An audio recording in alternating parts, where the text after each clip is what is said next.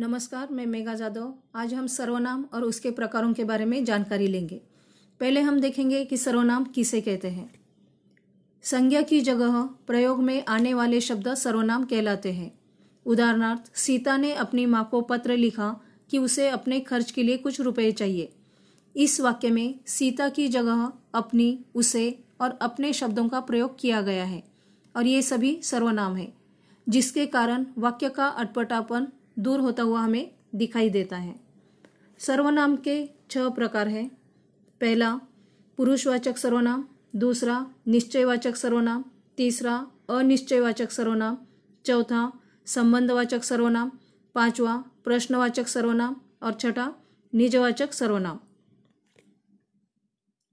पुरुषवाचक सर्वनाम। जो शब्द बोलने वाले, सुनने वाले और जिसके विषय में बात की जाए, ऐसे शब्दों को पुरुषवाचक सर्वनाम कहा जाता है।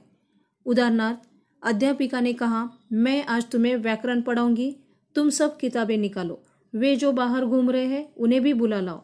इसमें मैं, तुम्हें, तुम, वे, उन्हें, ये सभी पुरुषवाचक सर्वनाम के उदाहरण हैं। इसमें बोलने वाला, सुनने वाला और तीसरे व्यक्ति का भी समावेश होता हुआ हमें दिखाई देता है। पुरुषवाचक सर्वनाम के तीन प्रकार हैं। उसमें पहला उत्तम पुरुषवाचक सर्वनाम, जिसे हम बोलने वाला भी कहते हैं, और उसके लिए मैं, मैंने, मुझे, हम, हमें, हमने आदि सर्वनाम का प्रयोग किया जाता है। दूसरा है मध्यम पुरुषवाचक सर्वनाम, जिसमें सुनने वाला आता है। उसके लिए तू, तुम, तुमसे, तुम्हें, तुझे, आप इत्यादि सर्वनाम का प्रयोग किया जाता है। और तीसरा है अन्य पुरुषवाचक सर्वनाम, इसमें अन्य व्यक्ति के लिए वह, वे, उसे, उन्हें, उन्होंने, उनको, वे आदि सर्वनाम का इस्तेमाल किया जाता है। उदाहरणार्थ, मैंने तुम्हें कल ही बता दिया था कि वे लोग आज नहीं आएँगे।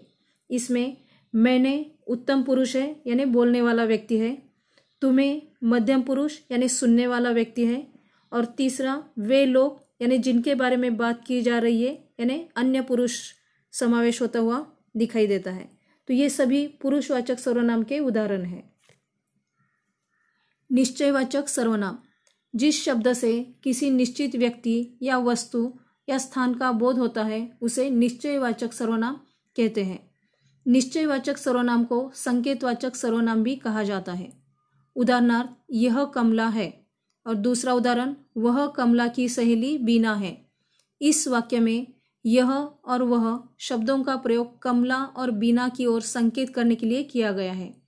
इसीलिए ये संकेतवाचक या निश्चयवाचक सर्वनाम के उदाहरण दिखाई देते हैं। अनिश्चयवाचक सर्वनाम। जिस सर्वनाम से किसी निश्चित व्यक्ति, वस्तु या स्थान का बोध न हो, उसे अनिश्चयवाचक सर्वनाम कहते हैं। उदाहरणार्थ, आपसे मिलने कोई आया है और दूसरा उदाहरण, पानी में कुछ गिरा है। इन उदाहरणों में कोई, कुछ शब्द आदि अनिश्चयवाचक सर्वनाम के हैं, क्योंकि इनसे किसी निश्चित प्राणी या पदार्थ का पता नहीं चलता। कौन मिलने आया है या क्या गिरा हुआ है, इसके बारे में निश्चयपूर्वक कुछ नहीं कहा जा सकता। कोई, कुछ, किन्हीं आदि शब्द अनिश्चयवाचक सर्वनाम के उदाहरण हैं। संबंधवाचक सर्वनाम। जिस सर्वनाम शब्द से वाक्य में आए किसी दूसरे सर्वनाम से उसका संबंध स्पष्ट करता है, उन्हें संबंधवाचक सर्वनाम कहते हैं। जैसा करोगे, वैसा भरोगे। दूसरा, जो जीतेगा, उसे इनाम मिलेगा। इन उदाहरणों में जैसा, वैसा, जो, उसे ये संबंधवाचक सर्वनाम के उदाहरण हैं। प्रश्नवाचक सर्वनाम। जिस सर्वनाम शब्द का प्रयोग प्रश्न पूछने के लिए अथवा कुछ जानने के लिए किया जाता है, उसे प्रश्नवाचक सर्वनाम कहते हैं। उदाहरणार्थ, अंदर कौन है?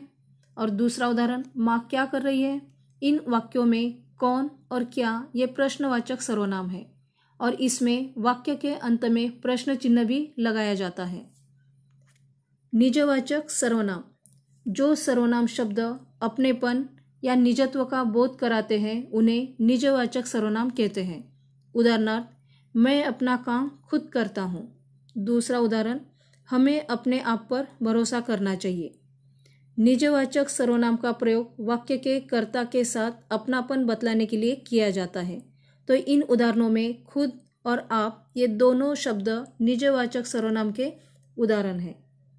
तो आज हमने सर्वनाम और उसके छह प्रकारों के बारे में जानकारी ली है। धन्यवाद।